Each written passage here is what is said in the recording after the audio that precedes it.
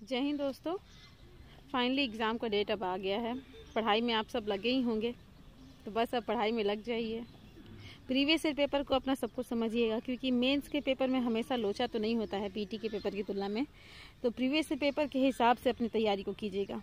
जिस तरह के सब्जेक्ट और चैप्टर उसने चूज़ किए हैं प्रीवियस ईयर पेपर ने उसी हिसाब से पढ़ेंगे तो बहुत अच्छा लगेगा। लगेगा एक एक चीज़ हमारा कंप्लीट हो रहा है।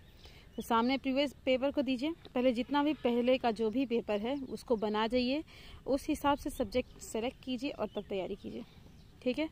समय मिलते ही हम हर चीज़ सब्जेक्ट वाइज एक एक चीज़ हम देते जाएँगे। अभी थोड़ा समय का कमी है, जिसके नाते हम नहीं दे पा रहे हैं। लेकिन तैयारी प्रीवियस ईयर के हिसाब से ही रखिएगा, क्योंकि मेंस में उतना गड़बड़ी हमेशा नहीं होता है।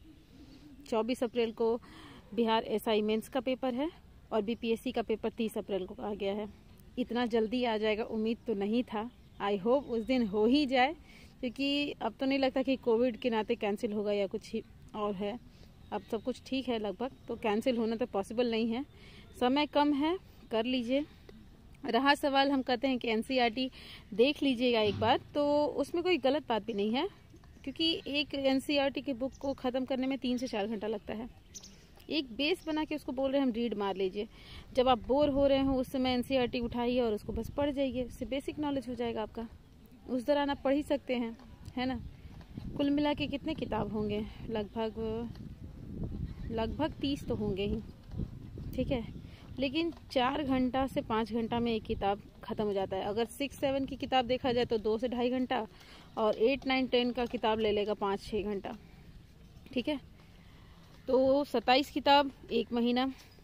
अप्रैल में एग्ज़ाम है, अगर नहीं पढ़ने का मन है तो कोई भी बात नहीं है। तो भी एट क्लास से लेके थोड़ा देख लीजिए, एक एट का, एक ट्वेल्व का। ये बहुत अच्छी किताबें हैं एनसीईआरटी में। क्लास एट की किताब और वो ट्वेल्व की किताब।